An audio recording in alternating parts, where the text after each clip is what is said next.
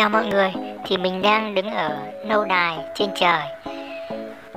Mình đang tổ chức giải mê cung Để thử thách trí thông minh của mọi người như nào Thì yêu cầu trò chơi là phải vượt qua mê cung Tìm được lối thoát.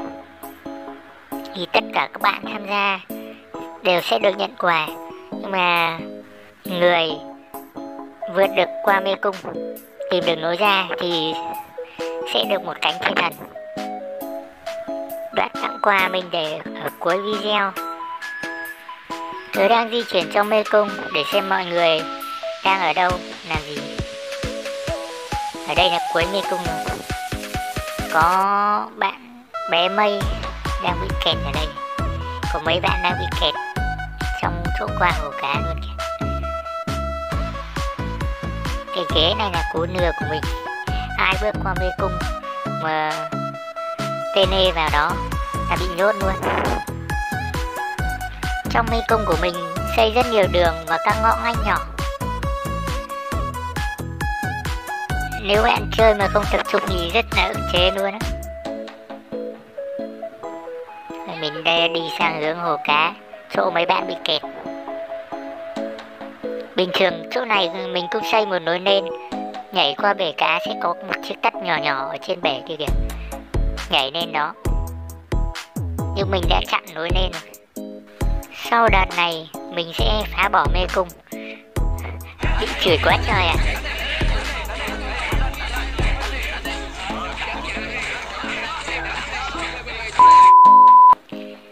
xây mê cung, thật ra thì cũng không hề khó luôn á nếu bạn nào muốn xây mê cung, có thể search Google mê cung vuông thì mê cung vuông rất là hợp với nội thất mấy đồ của Fly Together. Bạn có thể tham khảo. Sau đây mình sẽ giải mã cái mê cung này. Những chỗ mình xây nối thoát. Mọi người có thể học áp dụng để xây cho nhà mình. Vừa vào mê cung sẽ dễ phải. Có một cái quạt ở đây. Thì đây chính là nối thoát mình xây để thoát khỏi mê cung. Bạn phải nhảy lên cái quạt rồi nhảy lên cái vách sắt nằm nghiêng này, rồi đi theo đường vách để ra ngoài. Nhưng mà chả ai tìm được đường gì cả. Đây là một ngõ mình phải chạy ra. Nhảy lên cái bồn rửa mặt này cũng nhảy được lên vách. Nhưng mình đã chặn nối lên rồi.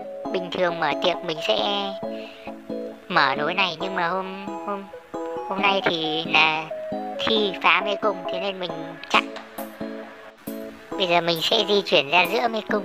Thì ở giữa mê cung nó có mấy khối nego này. Mình có đặt một cái để nhảy lên được bình thường cái khối nego trên cùng kia mình sẽ tháo ra để cho mọi người có thể nhảy được lên vách nhưng cũng chả ai tìm được người đi ra. Buồn lắm. Đoạn này là cuối mê cung rồi mọi người thường bị mắc nửa chỗ này. Cố tê nê để qua cái ghế, xong bị rốt ở trong ý luôn. Sau đó thì mình oánh đoạn bể cá này phải chỉnh CG nhân vật nhỏ nhất. Rồi nhấn nhảy nhảy, chạy chạy thì nó sẽ qua. Ở đây mình có đặt một chiếc tất có thể nhảy lên được. Nó rất là nhỏ, phải để mới nhìn được. Bình thường mình sẽ đặt thêm chiếc tất nữa để nhảy được lên vách thoát khỏi mê cung ở đây thì một số bạn bị nhốt ở trong này. Nằm luôn ở đây, bất lực. Thoát khỏi mê cung. Bắt cua lên mấy cái khối, rồi lên cái máng trượt, ngồi trên ghế. Sẽ là người chiến thắng. Có một nhóc 13 tuổi, đã nhảy lên cái quạt và nhảy lên vách. Thoát khỏi mê cung bắt cua lên đây. Em ý ngồi đây này. Ăn mừng Eric thắng cuộc.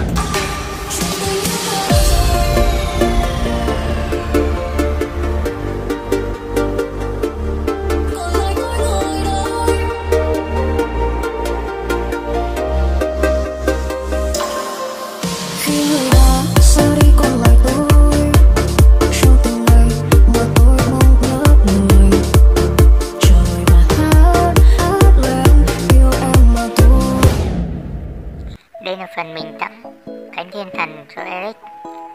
À, và mình tặng quà cho những bạn đã tham gia mê cung. Thì có một số bạn mình không kết bạn được á thì